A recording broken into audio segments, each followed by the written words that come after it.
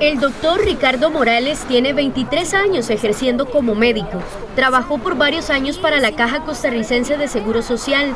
Cursó sus estudios en Israel durante seis años, pero al regresar decidió no trabajar más para la Caja. Así como él, hay más de 200 especialistas que dejaron de trabajar para la institución. Pero ¿qué hace que algunos médicos se fuguen hacia hospitales privados o el INS? Pues eh, principalmente por ambiente laboral.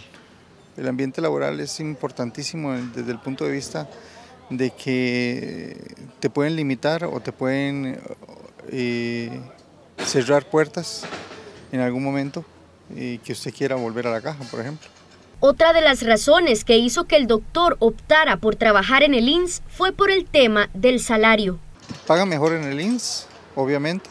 Eh, yo las mejoras que propongo o, las que puedo eh, mencionar son eh, corregir la brecha salarial que existe entre una institución y la otra, en lo que llevamos de este 2023, hay 18 especialistas que han renunciado a la Caja Costarricense de Seguro Social, según datos del Departamento de Recursos Humanos de la institución.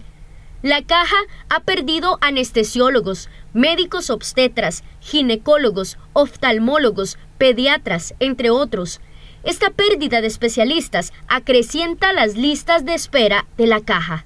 En el caso de los especialistas, también requerimos que haya más especialistas, sobre todo en algunas especialidades que hay muy poquito, y eso no lo podemos arreglar rápido. ¿Por qué? Porque si a usted le está faltando ortopedista o anestesiólogo, toma de 5 a 10 años formar los anestesiólogos que faltan y los ortopedistas que faltan. Entonces, ese proceso de formar gente nueva es algo que no puedes resolver con todo el dinero del mundo. Tenés que formar a las personas.